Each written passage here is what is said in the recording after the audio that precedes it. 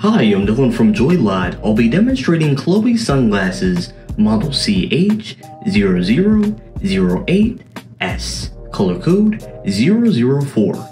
The color of the frame is a Havana color. As for the lenses, they're a brown gradient with a square shape. On its temples, you'll see the Chloe logo in gold, and it can also be found on its temple tip as well. And it's made in Italy.